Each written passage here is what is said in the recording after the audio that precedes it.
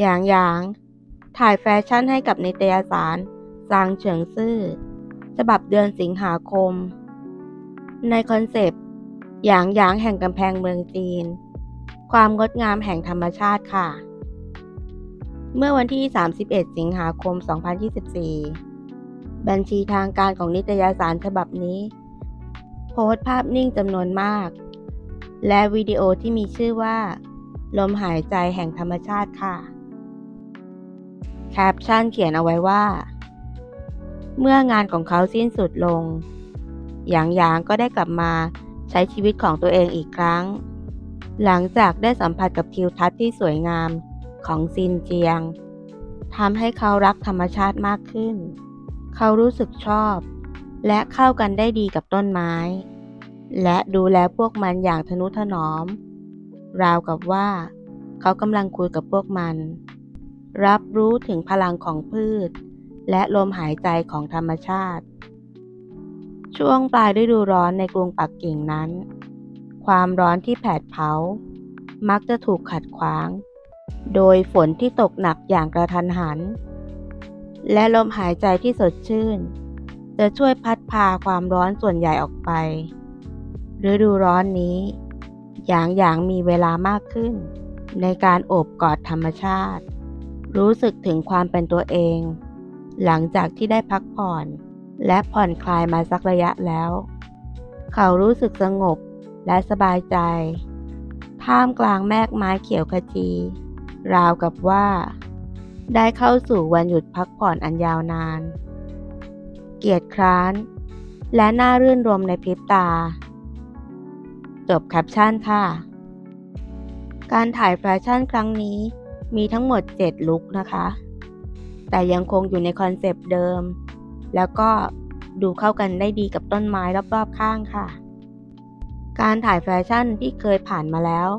จากนิตยสารเล่มอื่นๆ ก็มีบ้างที่ป้ารู้สึกว่า ป้าไม่ชอบ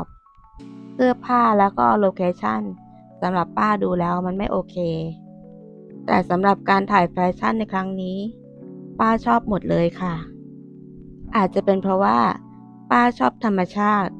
แล้วก็จะตกแต่งบ้านด้วยต้นไม้เล็กๆค่ะ พอได้เห็นเขาอยู่ร่วมกับธรรมชาติ มีต้นไม้มีดอกไม้ ป้าก็รู้สึกโอเค เห็นแล้วมีความสุขค่ะ อย่างที่ป้าพูดไปแล้วเมื่อต้นคลิปนะคะ ว่าการถ่ายแฟชั่นครั้งนี้เนี่ย มีภาพนิ่งเยอะมาก ป้าจะให้คุณผู้ชมดูภาพนิ่งส่วนที่เหลือ เรื่อยไปจนถึงคลิปวิดีโอค่ะ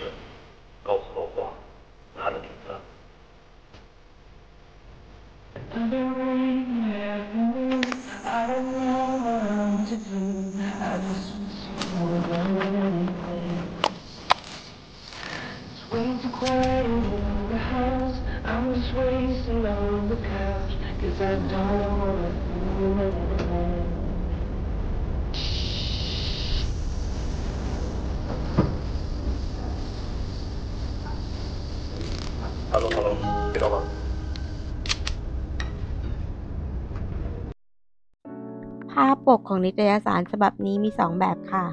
นี่คือแบบที่หนึ่งและนี่คือแบบที่สองค่ะ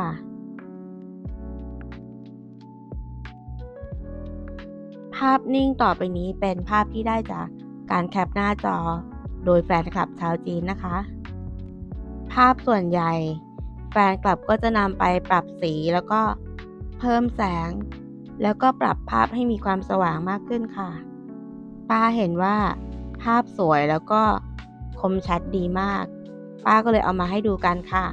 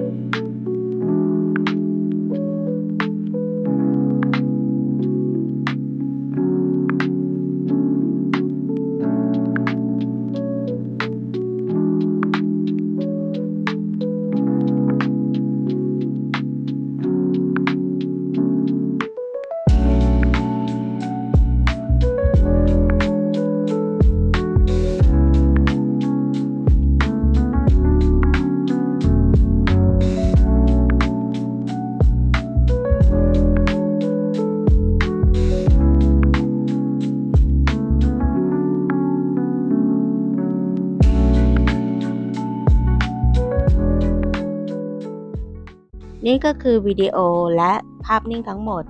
ที่ป้ารวบรวมมาให้ทุกคนได้ดูกันนะคะ ป้าขอพูดจากใจจริงเลยว่า นิตยสารเล่มนี้ ถ้าใครได้ไป ถือว่าคุ้มค่ามากค่ะ อย่างหยางหล่อแบบธรรมชาติ ไม่ต้องแต่งเติมอะไรก็หล่อแล้ว